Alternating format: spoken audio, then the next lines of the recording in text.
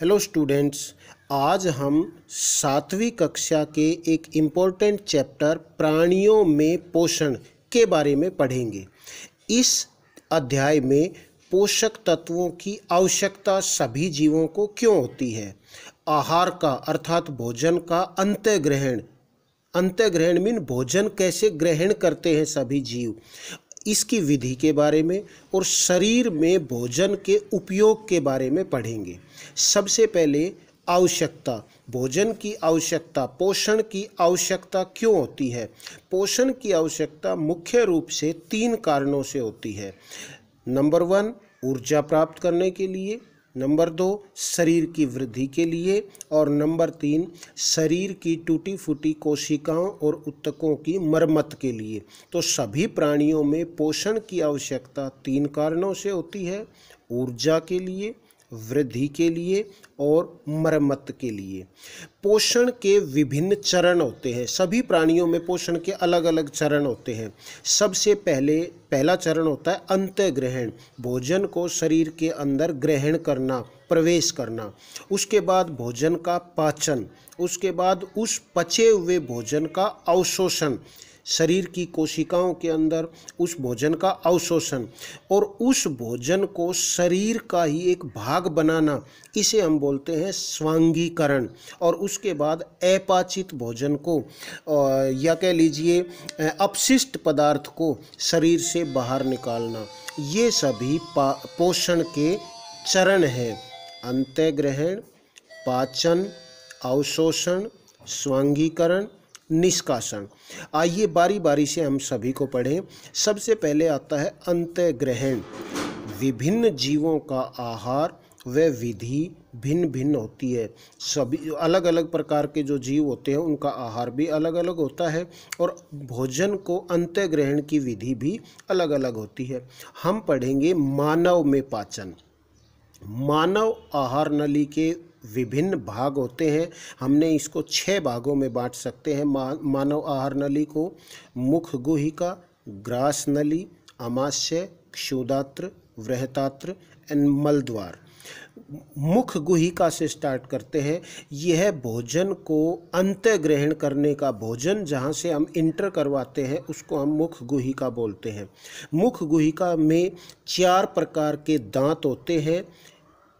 कृतंक रदनक, अग्रचरणक और चरणक। कृतंक संख्या में आठ होते हैं। रदनक जो सबसे सामने वाले होते हैं, चार नीचे और चार ऊपर। इन दांतों को हम कृतंक बोलते हैं मनुष्य में।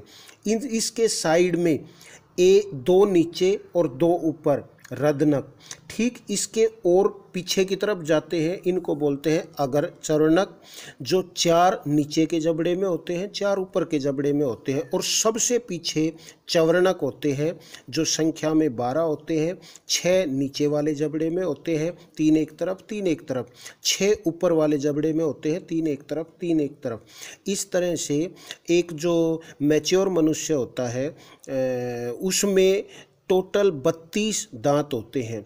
ठीक इसी तरह मुख गुहिका में एक जीभ होती है, जिसमें लार का निर्माण होता है। लाला ग्रंथि जीभ पर उपस्थित होती है और जीभ भोजन का स्वाद चखने में भी सहायता करती है। उसके बाद दूसरे नंबर पे आती है ग्रास नली। ग्रास नली को ग्रसिका भी बोलते हैं। ग्रास नली केवल भोजन को मुख गुहिका से अमास्य में भेजने का काम करती है। उसके बाद आता है अमास्य।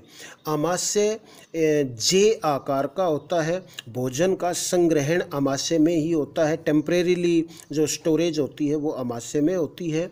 अमास्य में बहुत सारे पाचक रस प्रेजेंट होते हैं उत्पन्न होते हैं, उनमें हाइड्रोक्लोरिक अमल भी होता है। ये हाइड्रोक्लोरिक अमल हानिकारक जीवाणुओं को भोजन के साथ यदि कोई हानिकारक जीवाणु आते हैं तो उनको नष्ट करने का काम भी हाइड्रोक्लोरिक अमल करता है।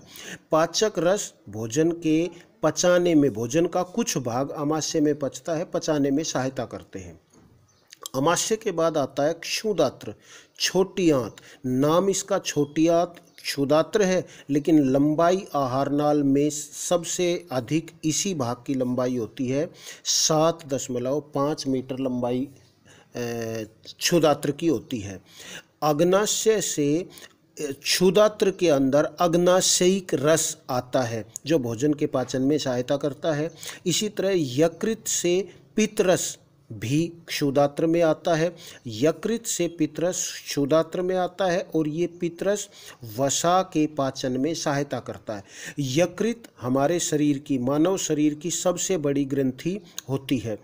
क्षुदात्र के अंदर ही उंगली के समान कुछ उभरे हुए संरचनाएँ होती हैं, जिनको हम दीर्घरोम या रसांकुर बोलते हैं। और ये जो दीर्घरोम है या रसांकुर है, यहाँ पर पचे हुए भोजन का अवशोषण होता है। तो अवशोषण वाला जो काम है मानव में, वो क्षुदात्र में दीर्घ्रोम की सहायता से होता है। क्षुदात्र के बाद आता है वृहतात्र, बड़ी आंत। इसकी लंबाई एक दशमलव पाँच मीटर होती है। ये वृहतात्र में जल और लवण, जो फालतू पानी होता है, लवण होता है, उसका अवशोषण होता है। लास्ट का जो भाग है आहार नाल का, उसको हम मलद्वार या गुदा बोलते हैं। ये जो मलद्वार या गुदा है, ये अपशिष्ट पदार्थों को बाहर निकालने का काम करता है।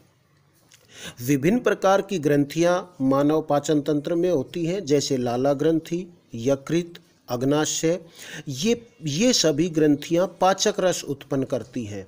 आहारनाल और पाचक ग्रंथियाँ, ये मिलकर पाचन तंत्र का निर्माण करती है। पाचन तंत्र आहारनाल और इन ग्रंथियों से मिलकर बनता है।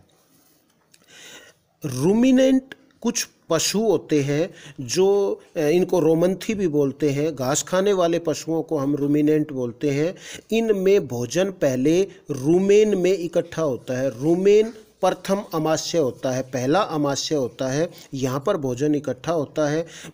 भोजन इकट्ठा होने के बाद जुगाली करते हैं जो पशु, उस भोजन को दोबारा से मुँह के अंदर, मुख गुहिका के अंदर लाकर उस भोजन को चबाने का काम करते हैं।